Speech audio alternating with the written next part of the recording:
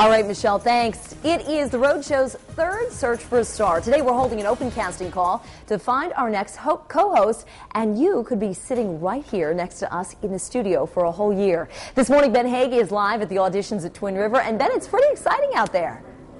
It is. It's pretty. It's pretty neat. We're here in line already. People have been here since I believe 4 or 2 a.m. Somebody showed up, like the first person in line. I just cruised in last year at about 6:15. So we're here right now towards the end of line. I'm joined by a couple of folks that are uh, getting ready to audition. What's your name? Where are you from?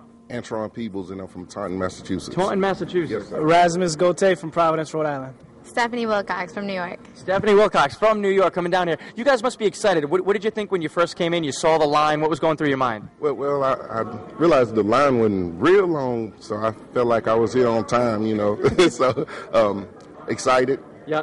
Ready Got to go. about 50 people to warm you up ahead, Yeah, yeah. about ahead. Are, are you Yeah. nervous right now? Are you looking forward to this opportunity? Oh, definitely looking forward to it. Very enthusiastic. Just the buzz in the air is incredible. I love it.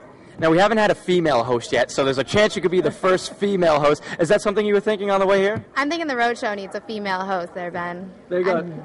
girl, girl power already we have in the line. We're going to let everybody know that the auditions are going on today at Twin River. We're at the west entrance right near the event center. It's from 9 a.m. to 3 p.m. Come down, get here early. Everybody's kind of meeting each other. You guys seem to hit it off already, just kind of oh, shooting the breeze in line, right? Good people, good people, and I'm, I'm excited to be here, man. Now, you, are you guys sharing tips or advice, or are you just trying to keep that under wraps because you don't want to give away any of your secrets?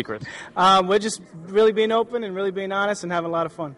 Now, how'd you find out about the Rhode Show auditions? That's pretty cool that, that we're reaching people out in New York and stuff like that, right?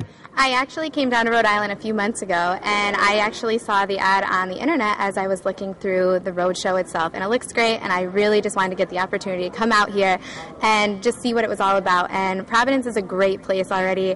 I mean, there's great food, there's great people, and there's great atmosphere, and I'm really excited to be here. Challenge, guys. She's laying down the gauntlet already. Laying down the gauntlet. She's ready to go. Again, it's 9 a.m. to 3 p.m. right here at Twin River. Come down, come hang out, say hello. Come get in line and give it a shot. If, if this is a job, honestly, I can speak from experience. If this is something that you want to do, this is one of the greatest experiences you can have. I've had fun all year, and I still have three months left, Pat, so don't kick me out yet, buddy. Back to you guys in the studio.